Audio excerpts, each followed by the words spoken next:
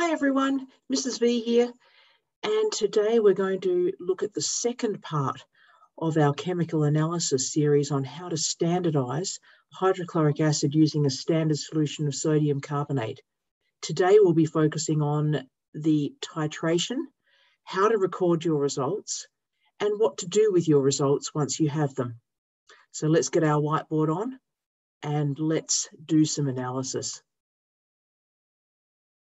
We saw in our last video how to calculate the concentration of your standard solution of sodium carbonate once you've made it. And we ran through and found out that the concentration of the standard solution I had made was 0.051 moles per litre of sodium carbonate. Now, in this titration, we are going to standardise, or that is find the concentration of some hydrochloric acid, which we know is approximately 0.1 moles per litre. So you'll need to get yourself set up for titration. I have a video on titration technique where I did a redox titration. So if you are unsure about the correct technique for titration, please check that one out. But you're basically going to be setting up a burette which contains your hydrochloric acid. And so you'll need to prepare the burette by rinsing it, making sure the jet is full and filling it up so that you've got around about 50 mils in your burette. You will have some flasks in which you are going to pipette your standard solution. So the pipette size that I'm using is 10.0 mil. And so you may be using a different size. Um, I use 10 mils and therefore I'm expecting my titers to be around about 10 mils.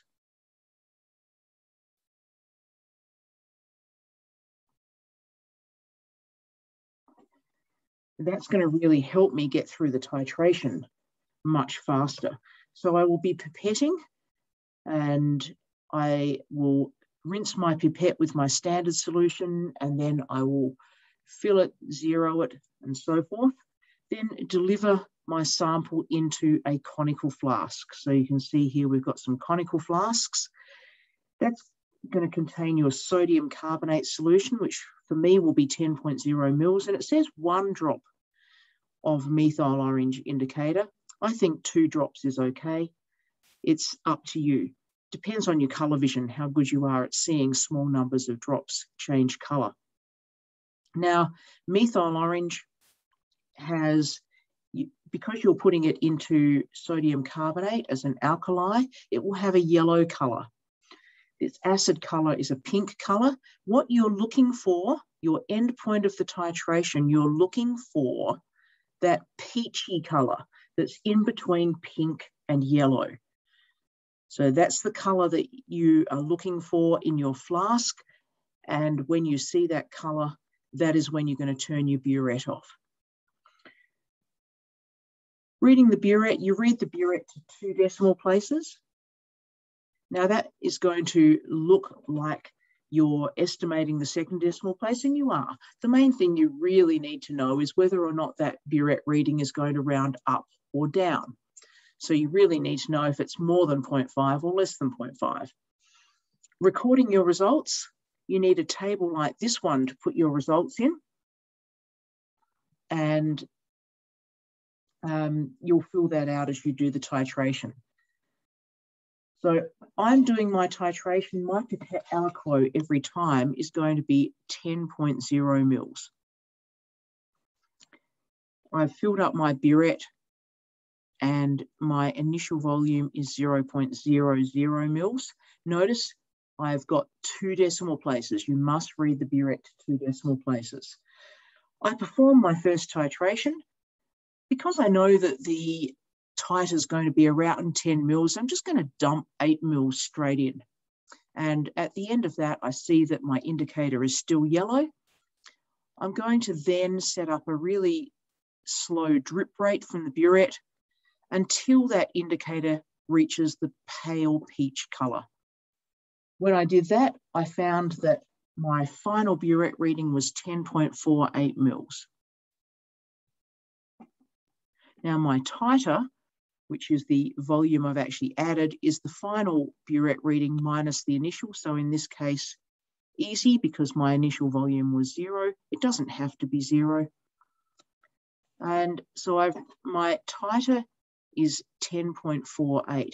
Now I'm going to repeat this process until I get to concordance. I want three concordant titers. So that means I want three titers for which the biggest minus the smallest is less than 0.1 of a mil. It seems unachievable, but with plenty of practice, you'll actually be able to get this very easily. All right, second titration. My pipette volume was still 10.0, but my starting volume now is 10.48 because I'm going to start, I don't need to fill the burette every time. I've got plenty left in the burette. There's 50 mils in a burette. I've got plenty left in there. I can do another titration. This time when the indicator changed color, my end volume was 20.98 mils. And that means that my titer delivered was 10.50. Now these two titers are concordant because they're only different, they're only different by 0.02 mils. So I only need one more that is that close and my titration is finished. So this time 20, my pipette volume still 10. I had starting at 20.98. And this time I am titrating. The indicator goes a peach color and my final volume is 31.59. So to work out my titer then, my titer is 10.61 and that's not good enough because the biggest minus the smallest, 10.61, take 10.48,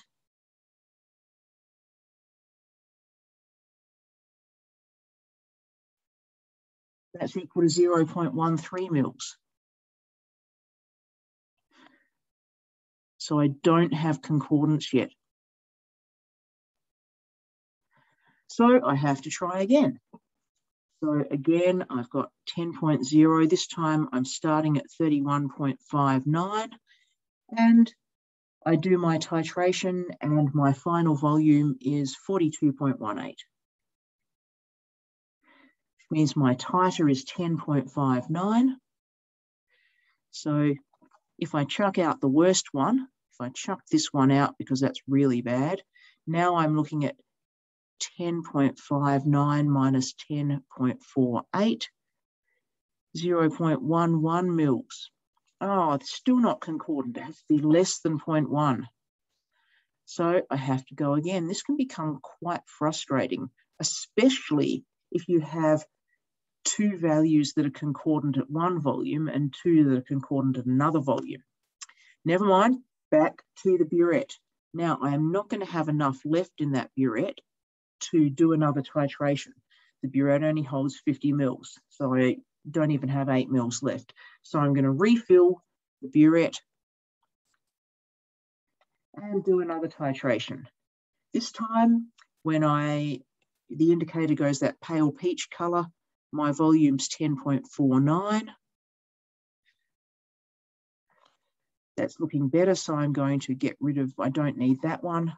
Let's have a look. So 10.50 is my biggest, 10.48 is my smallest, and that is equal to 0.02. So rejoicing, yes, finally, I have concordance. So now I can stop my titration, pack up my equipment. I have all the data I need for my calculation. So let's get on with it. So the first thing I need to do is work out my average titer. So I need the average of the three concordant titers.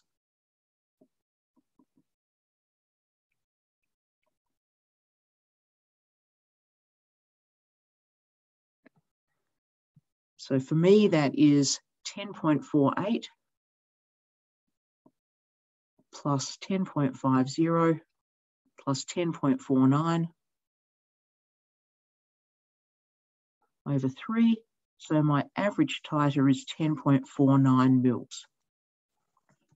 Okay, we don't include, don't include the ones that were outside of that concordant range, only the ones that are inside it. Once you've got three, give up. No need to go any further. You do not want to have, you, it's not going to be any better for you to have five concordant titers. It's just going to waste time. And particularly if you're doing an exam in this, you do not want to be wasting time. So that is, that 10.49 mils is your volume of hydrochloric acid. So if we summarize all the information you've got now, you have the concentration of hydrochloric acid is what you're trying to find out. The volume of hydrochloric acid is equal to 10.49 mil. Your concentration of sodium carbonate was 0.051 moles per litre. The volume of sodium carbonate was our pipette volume which is 10 mils. Just be really careful here. Quite often, people get too caught up with the standard solution calculations and think that the volume of sodium carbonate is 100 mils, but you didn't use the entire 100 mils in a titration. You took a sample of 10. So be really careful of that one. Now that you have that information, this becomes a simple stoichiometry problem. So let's do our stoichiometry process. We start with a balanced equation. So our equation is sodium carbonate and hydrochloric acid. Now, one of the mistakes that I see students make over and over again is getting the formula of sodium carbonate wrong. So many times people ignore that really important step of getting the chemical formula right. So don't be tricked. Sodium carbonate is not NaCO3, it is Na2CO3 because it's made of Na plus and CO3 2 minus. So make sure you get your formula correct.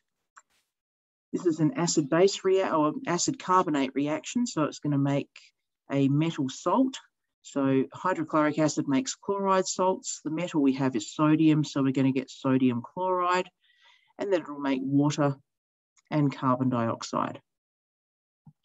To balance this equation, I've got two sodiums on the left, which means I'm going to need two sodium chlorides here. Now you can see that I have two chlorines and therefore I'm going to need two hydrochloric acids. Everything else balances. All we've got to do is put in our states. So sodium carbonate, we're using a solution, so that's aqueous. Acids are aqueous. The sodium chloride will be aqueous. Water is a liquid, and carbon dioxide is a gas. All right, we have our balanced equation. On to step two, we need to calculate the moles of the known. Now, you never have to worry in a titration where you're doing a standardization because the known is always going to be your standard solution. You made that solution of known concentration so that you could use it to standardize the sodium, uh, the sodium, the hydrochloric acid. So the moles of the standard solution, moles is equal to concentration times volume. Our concentration was 0.051 moles per litre. Our volume is 10 mils, but you must convert to litres. So our um, number of moles, therefore, is going to be 5.1 times by 10 to the minus 4.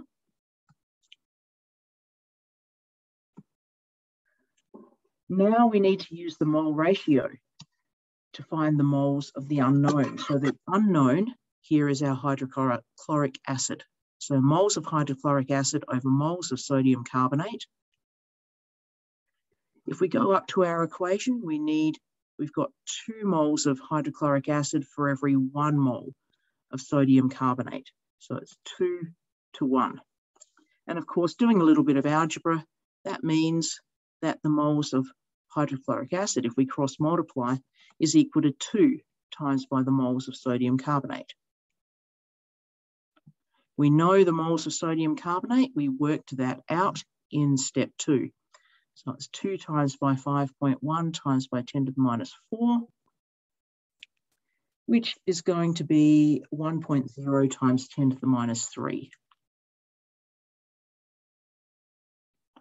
Final step, we're going to convert to the required quantity. And in our case, this is concentration.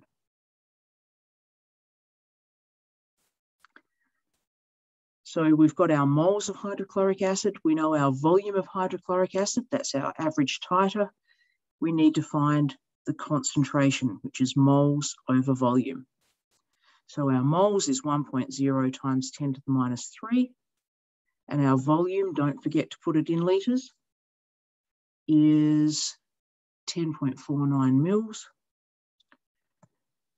0.01049 litres. And we run that through the calculator and we get 0.097 moles per litre.